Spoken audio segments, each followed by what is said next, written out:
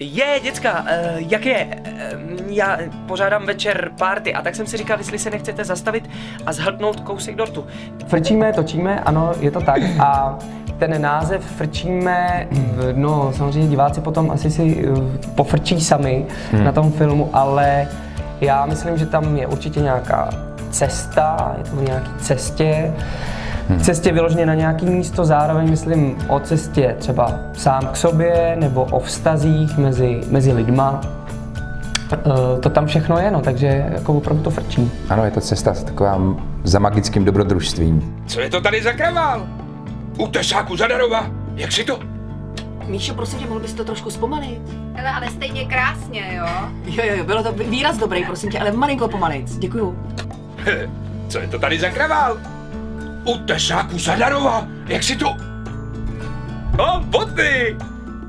Vydrž, pomůžu Máme dvě Ano. skvělé režisérky, Jsou úžasní. ano, a uh, je to vlastně hrozně zábavný, protože, což je teda pro mě hlavně skvělý, že, že uh, tyhle ty filmy jsou fakt skvěle zahraný. No. Podle mě animovaná postava je jako nejlepší herec na světě, 100%. protože někdo ho naanimoval z těch nejlepších jako reakcí a, a vlastně vždycky si říkám, ty, jak tohle to, jako, jak to zahráli a dojde mi, že jsou animovaný.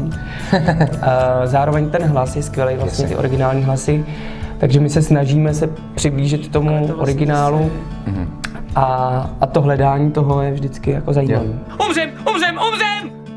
Jen jedinkrát a nikdy víc se mezi živé vzbuď, než zítra slunce skryje líc. Dnes s námi jeden buď. Jejich tažení začíná.